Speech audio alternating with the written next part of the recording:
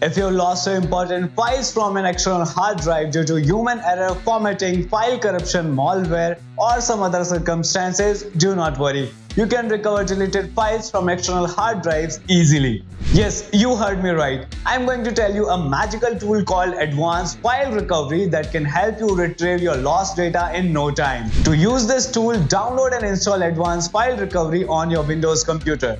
I'll also add the download link in the description below. Once launched, select the drive where a deleted file was stored to scan. As we want to recover data from the external drive, we'll select the external drive. Now from here select the type of scan. We suggest selecting deep scan as it increases your chances of recovering and then hit next. Now select the scan data type from documents, photos, videos, audios, compressed files or all and click on start scan. Wait for the process to get completed.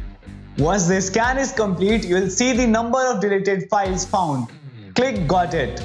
Now look for the file you accidentally deleted and want to recover. You can preview the files before recovering them. Then select the files you want to recover and click on Recover Now. Now click OK and select a location where you want to store the file or folder after recovery. Now to avoid overwriting data, make sure to select a different location to save the recovered files. Do not choose the same location from where you are recovering the files. Once you have selected the folder, click on the select folder button. Wait for the recovery process to complete and congrats, your files have been successfully recovered. You can access them by clicking on the folder location. Wasn't this super easy? Do try this and share your feedback in the comments. If you found it helpful, do like and share this video with your friends. Also don't forget to subscribe.